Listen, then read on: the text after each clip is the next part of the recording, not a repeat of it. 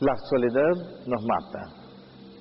Qué lindo encontrar que alguien nos acompañe en la vida.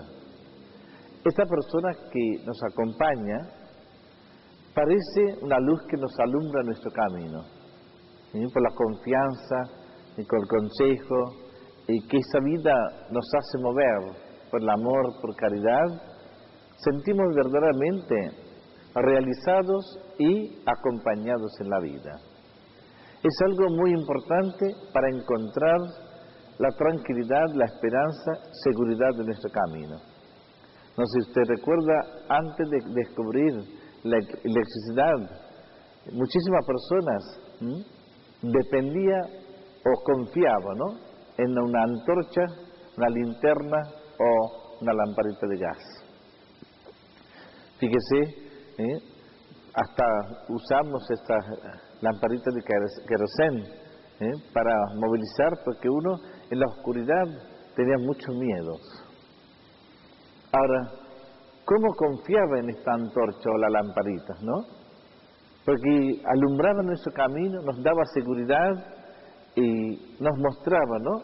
Lo que viene en adelante nosotros, los obstáculos, barreras y cómo pude evitar, porque nos daba una visión con más claridad o más seguro para dar los pasos. Ahora, una persona que acompaña nuestra vida, que tiene la misma función de ser antorcha, la lámpara que ilumina nuestro camino, verdaderamente un apoyo moral, espiritual para asegurar nuestra vida. Por eso, cuando alguien se ofrece con cariño, con amor, ¿no?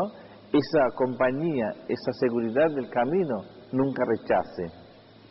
Además, si nunca encuentra a alguien ¿eh? para sentir ese apoyo, esa lámpara que ilumina, recuérdese siempre, Jesús es la luz que ilumina nuestro camino.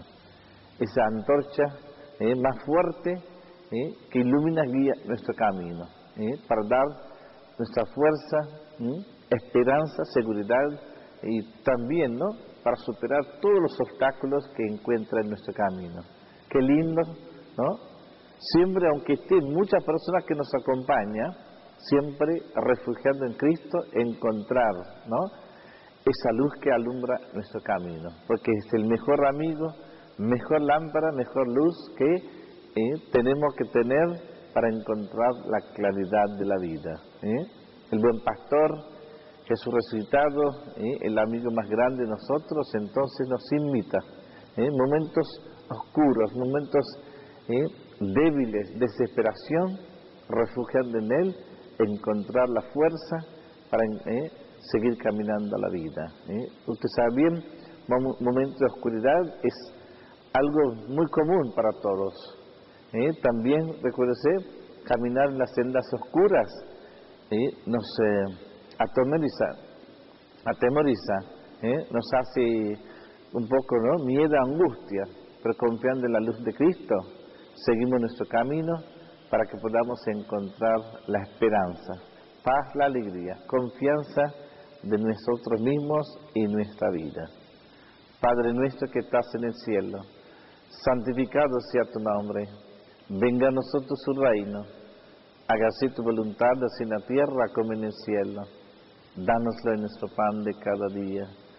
Perdona nuestras ofensas, como también nosotros perdonamos a los que nos ofenden. Y no nos dejes caer en la tentación, liberanos del mal. Amén.